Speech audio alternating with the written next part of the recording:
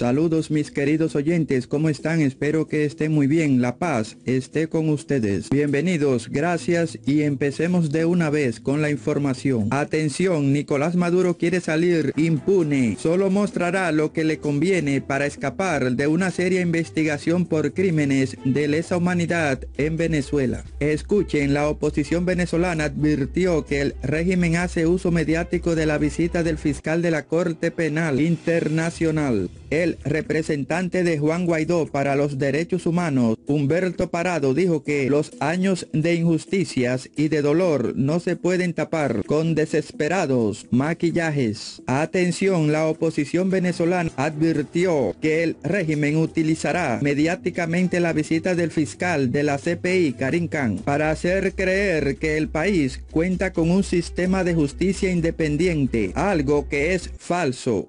No hay justicia en el país suramericano y se están violando los derechos humanos de cada ciudadano venezolano y también los derechos de libertad de expresión. El régimen de Maduro aprovechará mediáticamente su visita para hacer creer que Venezuela cuenta con un sistema de justicia autónomo e independiente, siendo algo totalmente falso, tal como lo ha demostrado la misión internacional independiente de determinación de los derechos sobre Venezuela expresó el representante de Juan Guaidó para los derechos humanos, Humberto Prado. Bueno amigos y amigas, así están las cosas en el país latinoamericano. Nicolás tratará de escapar de la justicia otra vez para que no abran una investigación sobre los crímenes que ha perpetrado el régimen chavista contra su propio pueblo. Esperemos que Karim Khan no le crea y no se venda como la ex fiscal Fatou Bensouda que se dice por ahí que agarró dinero y oro. Cabe mencionar que el opositor criticó que el régimen de Nicolás Maduro haya hecho reformas legales de último momento, sin los procedimientos técnicos establecidos en las leyes.